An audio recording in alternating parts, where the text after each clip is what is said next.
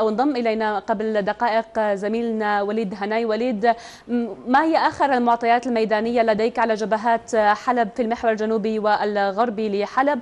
وكيف تبدو الأوضاع داخل الأحياء الغربية؟ وبالتالي المناطق التي تشهد حركة لسكان هنالك. تفضل. نعم البداية تحية لك رانيا ولضيوفك في استديوهات الإخبارية السورية. بطبيعة الحال الجيش العربي السوري يستمر في ويسعى في تضييق الخناق على المسلحين الذين كانوا قد شكلوا في وقت سابق ثغرة دخلوا من خلالها باتجاه المناطق الجنوبية والجنوبية الغربية من حلب المدينة باتجاه منطقة الراموسة والكليات العسكرية. الجيش العربي السوري كان له عدة طلعات اليوم عبر سلاح الجو واستهدف معاقل المجموعات الإرهابية المسلحة داخل الكليات العسكرية ومحيط تلك الكليات ووصولا أيضا إلى منطقة الراموسة بحسب المصادر العسكرية بأن هنالك عدد من القتلى في صفوف الإرهابيين وأيضا هنالك عدد من الجرحى لا سيما بأن النسق الثاني للإرهابيين الثاني الخلفي لهم في اتجاه منطقة خلصة وخان طومان ووصولا إلى القراصي. وقرية أم القرع هي شهدت اشتباكات منذ ساعات الصباح الأولى وحتى اللحظات الماضية بين أبطال الجيش العربي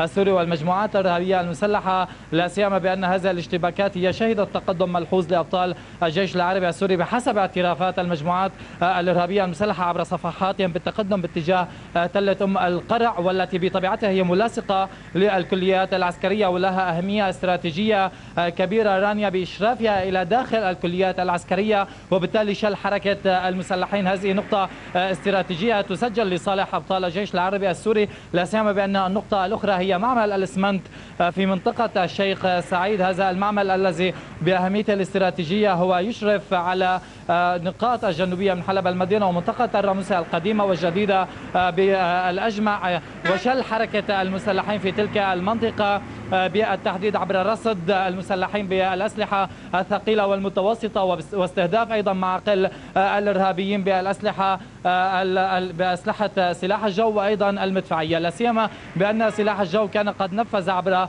طائرات المسيرة عدة ضربات موجعة ومحققة لأرتال المسلحين القادمة. من ريف إدلب الشمالي باتجاه ريف حلب الغربي مرورا بقرية أورم الكبرى ووصولا إلى خان العسل. هذا المحور الذي يشهد عدة طلعات مكثفة بشكل يومي باتجاه ريف إدلب الشمالي وريف حلب الغربي وبالتالي ضرب امدادات المسلحين وإصابات محققة من قبل سلاح الجو. أيضا إذا ما تحدثنا عن محور 1070 شق غربي حلب المدينة. هذا المحور الذي يشهد اشتباكات عنيفة بين أبطال الجيش العربي السوري والمجموعات. الإرهابية المسلحة في ظل تقدم أبطال الجيش في وقت سابق وبالتالي السيطرة على عدد من من الكتل. وهنا نتحدث عن تقدم باتجاه محور مدرسة الحكمة أي إطباق الحصار على المسلحين الذين دخلوا باتجاه الأجزاء الجنوبية والجنوبية الغربية في وقت سابق نعم. الجيش يعمل على إطباق الحصار على المسلحين وأيضا على يعني ضرب معاقلهم وإمدادهم القادمة من ريف إدلب باتجاه ريف حلب الغربي. نعم رايم طيب وليد ما هو ما هو الوضع الخدمي اليوم في هذه في هذه الساعات في مدينة حلب. لو تحدثنا قليلا عن هذه النقطة.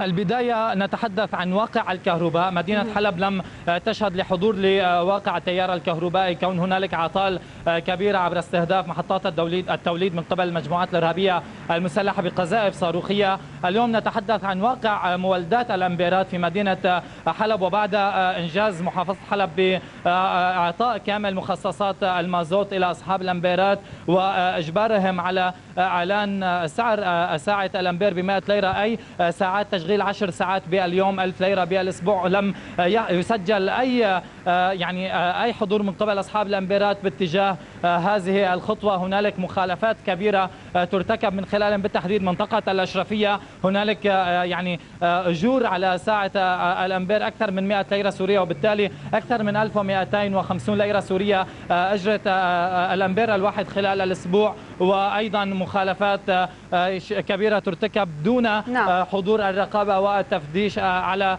محاضر وأماكن المولدات الأمبيرات بالتحديد منطقة الأشرفية وعدد من المناطق الأخرى. لا سيما بأن منطقة العزيزية شهدت تواجد لأصحاب الأمبيرات وأيضا اتباع لهذا القرار. أما إذا انتقلنا إلى واقع الأسواق والمواد المعيشية في حلب المدينة تشهد مدينة حلب يعني يوما بعد يوم يعني تقدم ملحوظ باتجاه الأسواق وتواجد لكافة المواد المعيشية وغيرها. ولكن الأسعار هي ما زالت مرتفعة لا سيما بأنه سيكون هنالك خلال الأيام القادمة إغراق أسواق مدينة حلب بالمواد المعيشية وبالتالي انخفاضها أي يعني الوزارة تتبع أسلوب إن أغرقت الأسواق بالمواد المعيشية. سيكون هنالك انخفاض نعم. للأسعار إن شاء الله خلال الأيام إن شاء الله. نشكرك جزيل الشكر. وليد هناي مراسل الإخبارية كنت معنا عبر الأقمار الصناعية من حلب.